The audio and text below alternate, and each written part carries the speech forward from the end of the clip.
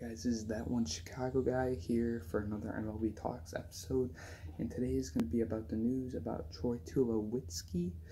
About seven hours ago, around 2 or 3 p.m. today, uh, the Blue Jays released Troy Tulowitzki. He is 34 years old. Uh, they have two years left on his uh, deal and 38 million they got to eat up. So that's getting off of a huge contract that they gave him, so that could really free up some space for them for this off season. You know, uh, there are some teams that could really use him. I mean, more of win now teams, but now that I think about it, there are some other teams that could really use him. Like a win now team example would be the Yankees. They have Miguel Andujar, which I wouldn't be surprised if they trade. They said they were shopping him around, and the Marlins seemed interested and I think it's either at second or short. They got uh, Gleyber Torres, but they did say they would, uh, or Tulowitzki said would be open to uh, position changes. So if they could move him to Miguel Andujar's place, if they trade him at third, then that would solve his problem if he would want to play third. That's a big if on Tulowitzki's part. But another team well, I got two teams that could possibly use him. Maybe. And they're both rebuilding teams. So my first one would be the Detroit Tigers. I looked up who their shortstops were because I don't even know who their shortstops are.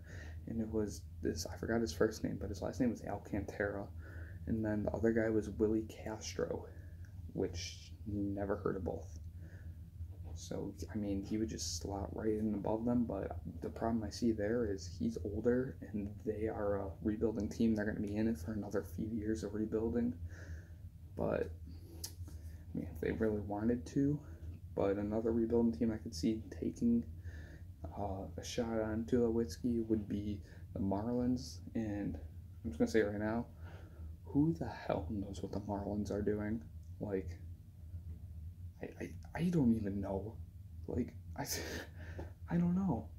They get rid of Yelich. Well, they get rid of literally their whole outfield. Ozuna, Yelich, and Stanton last season.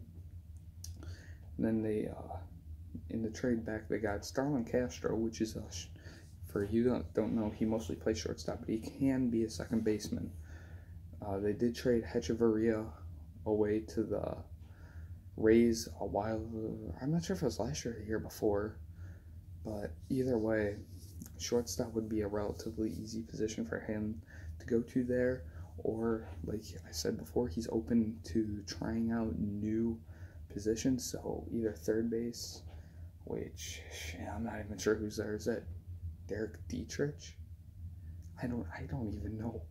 Is, there, is he either one of their catchers or is he a first baseman? I thought they're first baseman. I'm just saying now. I thought it was Justin Bour, but I very well could be wrong. But I think he got traded to the Phillies or something. See, I'm mixing myself up right now. I'm really mixing myself up.